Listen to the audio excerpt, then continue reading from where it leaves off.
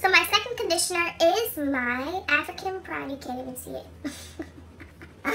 my second conditioner is my African. Come on, really? Just a touch of your love is enough to knock me off of my feet. Oh, just a touch of your love. Uh, just a touch of your love. Hey guys, and welcome back to my channel. So today's video is going to be my natural hair products, the ones that I like to use a lot. I have quite a bit of things here, like you can see. So, um, I'm not even going to talk too much. I just want to get straight into this video. Make sure you subscribe to my channel and like this video. And check out all my other natural hair videos as I've been doing a lot lately. So without further ado, let's get into the video. So I'm going to start off with conditioners because I have three of them. Is it three? Yeah, I have three conditioners to show you. So my first one is my Aussie Moist. This is my deep conditioner that I love to use um, in my wash routine. I use this product in my deep conditioner and I mix it in with like a bunch of other things. So I definitely recommend this. It cost me $3 at the Dollar General um, around here. And I've had this for a while. Like it's pretty tiny, but they got a lot of products stored in here. So I definitely recommend this. So my second conditioner is my African Pride. You can't even see it. my second conditioner is my African, come on, really, Olive Miracle leave-in conditioner. And I use this all the time on my hairstyles when I do my Bantu knots, um, when I'm doing my wash and goes. Pretty much any um, natural hairstyle I do. Even when I'm blow drying my hair, I'll use this. And it leaves my hair really, really soft. And I love to use this because it smells amazing.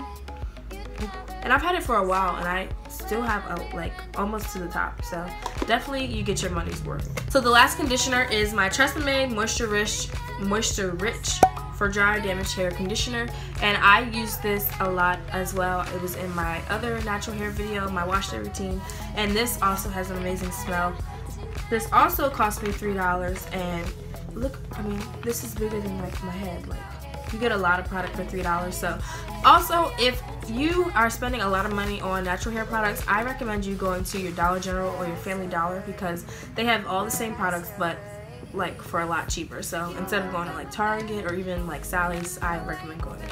So the next category are styling products and the first one is good old Miss Jessie's. This is Miss Jessie's Jelly Soft Curls. It says it's the best darn super soft gel and I believe so. It has like a really sweet smell. It smells like a candy store is what I compare it to, but there's like an ingredient in here that I can't figure out what that smell is, but it smells heavenly. Like I put this in my hair. I'll even do like my edges with it when I'm doing my wash and goes.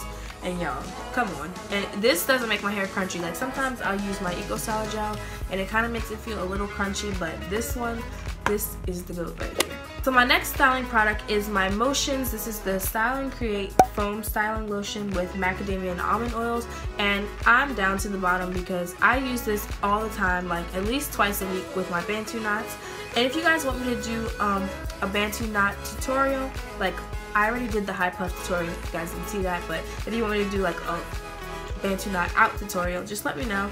Um, this is the main ingredient in that ingredient. This is the main product that I use in that. So my last styling product is my Kinky Curly um, Original Curly Custard. And also this one smells like marshmallows. I don't know why, like, for some reason companies like to make their stuff smell like candy and it makes it addicting which is why people probably use it a lot and I also use this for my wash and goes and I will be doing a wash and go um, routine very very soon I am not good with wash and go so I'm trying to figure out like a method to do which is why I haven't done a video yet so hopefully I figure out what that is and then I'll be able to film for you guys and show you guys that. So here are my two favorite shampoos. This is the Motion, oh bro, this is the Motions.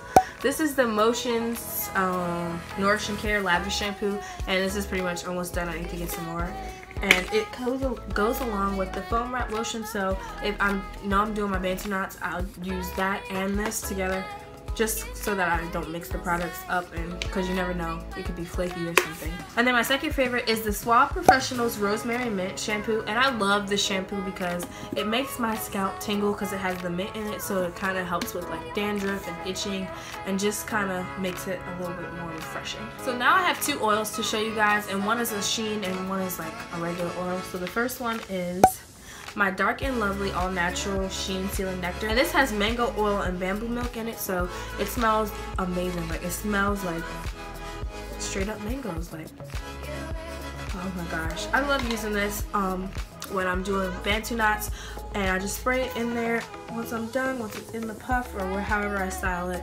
And whoa, I got yellow. but it makes my hair smell really good. And also, if I'm doing a wash and go and my wash and go kind of looks kind of dry and old, I'll spray this in there or use some coconut oil to moisturize. So my next oil, this is what I was talking about that stinks. Y'all know about this Jamaican black castor oil. Literally, I think it smells like fried rice and like old, old fried rice. Like, I don't like the smell of this. I've kind of gotten used to it, but when I first started using it, why am I saying, okay, I gotta fix this. But when I first started using it, it was so bad, like, I literally had to use this and then spray the sheen on top so that I couldn't smell this as um, strong as it is because this stuff does not smell good. If you guys haven't smelled any, I don't suggest it, but this right here, this is really the goat. Like this will get you your edges back. This will help thicken your hair and grow your hair and help like stimulate growth in your hair because I don't know what this is, but this stuff works. So I have two gels to show you.